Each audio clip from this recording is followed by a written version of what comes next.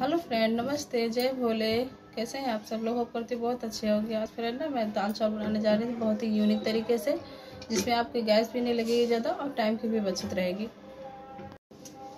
Friend, मैंने ये दाल ले लिया है और ये दो कप चावल ले लिया है, एक कप दाल है।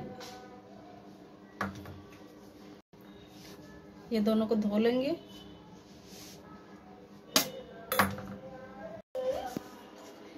मैंने दाल और ये लोटा में मैंने चावल धुल लिया है।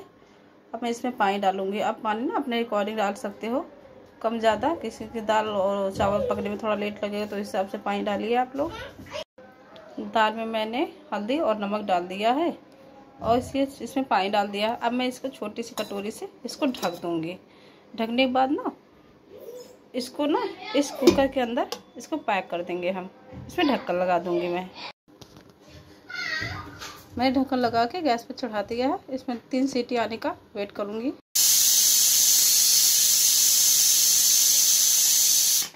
तो फ्रेंड, तीनों सीटी लग चुकी है। मैं गैस कर देती हूँ बंद। पाँच मिनट के लिए इसको मैं छोड़ दूँगी ठंडा होने के लिए। फिर खोल के दिखाती हूँ कैसा बना है दाल चावल। तो फ्रेंड, मेरा बनके दाल चावल तैयार हो गया अब मैं इसको देखती हूँ कैसा बना हुआ है।